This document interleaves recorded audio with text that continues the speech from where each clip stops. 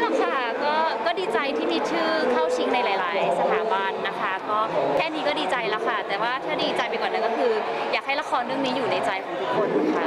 ทีนี้คาดหวังว่าคุณอุบลจะไปยังไงบ้างครับกี่เวทีดีครับเขาไม่จริง ๆ ไม่ได้คาดหวังจริง ๆ ค่ะอย่างที่บอกค่ะว่า คือเราเล่นละครมาแล้วก็ตั้งใจเต็มที่แล้วก็ในฐานะนักแสดงอิสระแบบนู่นนะคะ ก็ยังยังโชคดีแล้วก็ขอบคุณนะคะที่ที่ทาง ผู้จัดหรือทางช่องต่างๆ ที่ยังให้ความเอ็นดูค่ะ ปีนี้จะเห็นละครปีนี้นะคะก็จะมีละครระเริงไฟค่ะทางช่อง 3 นะคะ ฝากด้วยนะคะ เล่นกับพี่เคนธีรเดชค่ะ อันนี้ถ่ายจบไปยังใกล้แล้วค่ะ เดือนหน้าปิดกล้องแล้วค่ะก็เตรียมเคลียร์คิวมีน้องเลยแล้วกันเนาะเตรียมเคลียร์คิวท่องเที่ยว ก็เดี๋ยวไปเชียร์เสร็จแล้วก็เดี๋ยวไปเชียร์คุณตอนแข่งรถอะไรอย่างเงี้ยค่ะ จริงๆแล้วทางฝั่งพี่ชมเขาก็ท้องไปแล้วยินดีด้วยกับเพื่อนค่ะ พี่นุ่นล่ะฮะ ก็ยังก็ยังทำงานแล้วก็ยังใช้ชีวิตอย่างมี ความสุขเหมือนเดิมค่ะ เป็นอีกหนึ่งคนไม่หลายคนจับตามองว่าปีนี้จะได้ข่าวดีมาคือก็ต้องขอบคุณนะคะที่ทุกคนแบบให้ความสนใจแล้วก็อยากติดตามว่าเอ้ยเมื่อไหร่จะมีหรือยังไงอะไรเงี้ยแต่ว่าสุดท้ายแล้วก็คืออยากให้ขึ้นอยู่กับที่ตัวนุ่นเองกับตัวคุณนอนเองมากกว่าค่ะอย่างที่บอกไปว่าทุกวันนี้ก็ใช้ชีวิตอย่างมีความสุขค่ะอย่างตัวพี่นุ่นเองก็มีกำลังใจพี่ชมพู่ล่าสุดที่แบบว่าเหมือนกำลังตั้งครรภ์เลย คือมันเป็นเรื่องดีๆอะเนอะเราก็ต้องดีใจกับเพื่อนด้วยค่ะตัวพี่นุ่นเองกดดันไหมครับ เพราะว่าเราก็แต่งงานไปแล้วเนี่ยไม่อะค่ะไม่เบื่อหรือยังเนี่ยถามเนี่ยไม่เบื่อค่ะไม่เบื่อค่ะ ก็ก็เป็นปกติค่ะเข้าใจอะค่ะ แล้วหลังจากนี้ก็คือพักละครใช่ไหมครับก็มีกำลังมีคุยคุยๆอยู่บ้างค่ะ แต่ว่ายังไม่ได้ตกลงอะไรค่ะเดี๋ยวต้องลองดูว่า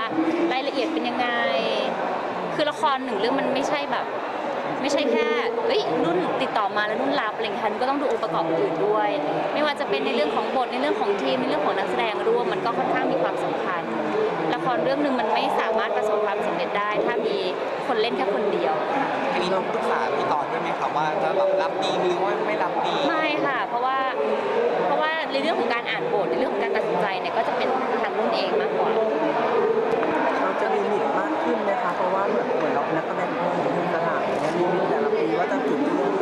คือตอบไม่ได้ค่ะ เพราะว่าละครละครแต่ละเรื่องเนี่ยก็ถ่ายทำโดยใช้ระยะเวลาไม่ไม่เท่ากัน แต่ว่าพอเราถ่ายไปสักครึ่งเรื่องค่อนเรื่องเนี่ยเราก็จะพอรู้แล้วแหละว่าเออแผนในชีวิตของเราต่อไปเป็นยังไงอะค่ะ เพราะว่าตอนนี้ก็ขอลุยเรื่องธุรกิจก่อนค่ะกลัวไหมคะที่ว่านางจะยากไม่ไม่เป็นไรค่ะก็ก็เอาเป็นว่าตอนนี้ก็ใช้ชีวิตอย่างมีความสุขจริงๆค่ะ ใช่เราจริงๆอยาก ก็ตอนนี้ใชีวิตอยู่มีความสุขแล้วนะ จริงๆพี่นุ่นมีคิดว่าฝากเงินฝากไข่ไหมไม่มีค่ะ ธรรมชาติเลยก็ถ้าถ้าเกิดมีเดี๋ยวบอกนะคะเบื่อไหมคำถามนี้คำตอบ เราอยากด้วยอยู่เป็นสองคือทุกวันนี้เนี่ยจริง ๆ แล้วก็ไม่ได้อยู่กันสองคน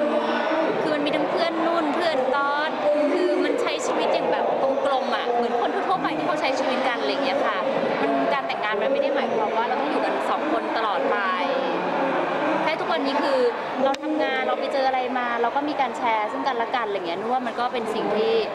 ที่โอเคแล้ว